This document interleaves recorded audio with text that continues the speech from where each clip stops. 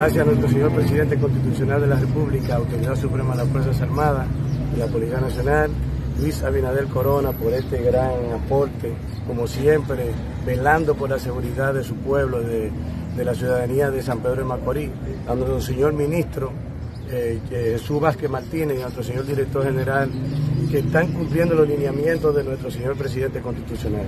Señora gobernadora, usted puede estar seguro que le vamos a sacar el mejor de los beneficios a este equipo nuevo ya que eran equipos de más de 6, 5 años en uso, sin, sin descanso.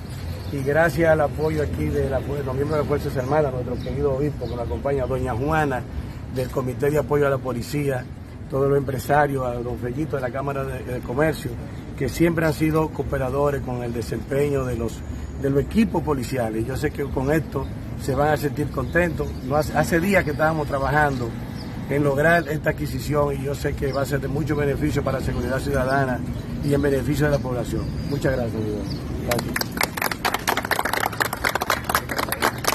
Ahora felicitamos. Vamos a bendecirlo. Señor, Dios Todopoderoso, dice, yo soy el camino, la verdad y la vida.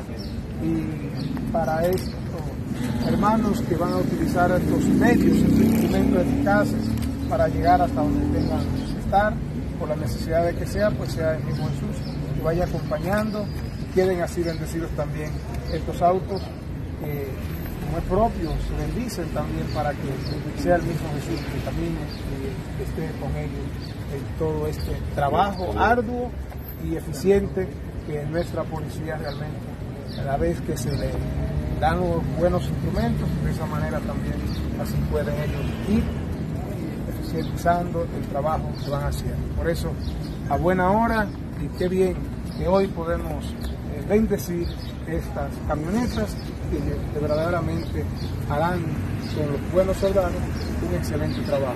Que queden bendecidas en el nombre del Padre, del Hijo y del Espíritu Santo. Amén. Los motores, ya. Los motores también, los motores también.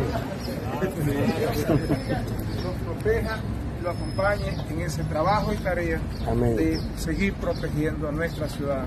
Amén. Muchas gracias.